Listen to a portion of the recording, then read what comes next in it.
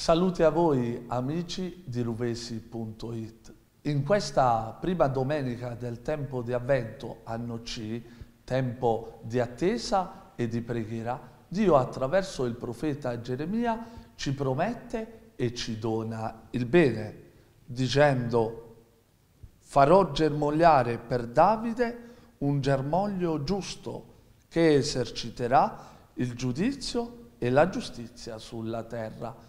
Amici cari, la giustizia intesa come germoglio che cresce e si sviluppa nel tempo e nella storia personale di ciascuno di noi, intesa come giusto mezzo, equilibrio per giungere alla vera bellezza, cioè la salvezza in Dio. Ma che cosa è giusto?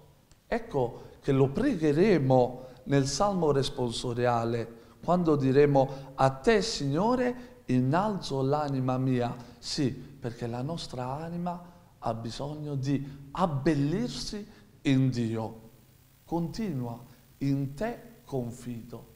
Che cosa significa confidare in Dio? Significa indicare la via giusta ai peccatori, cioè essere testimoni credibili della parola di Dio. Ancora, guidare i poveri verso la giustizia, cioè ciascuno di noi è chiamato ad essere a capo della speranza che è nel nostro cuore. Tutti nel cuore abbiamo la gioia.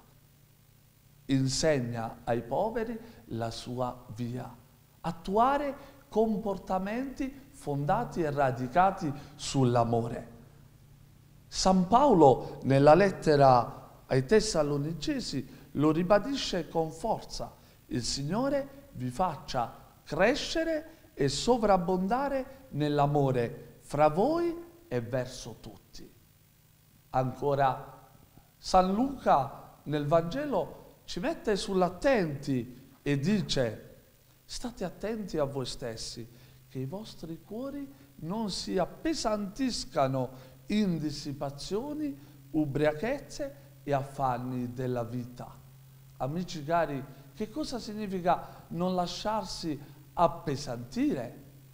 Significa non ricercare in maniera esasperata e ossessiva un pugno di lenticchie che non ci dà la salvezza, ma siamo esortati a vegliate in ogni momento, pregando perché abbiate la forza di comparire e di sfuggire. Allora, se vogliamo comparire belli, pieni di giustizia di fronte a Dio, siamo chiamati a pregare quotidianamente. Grazie.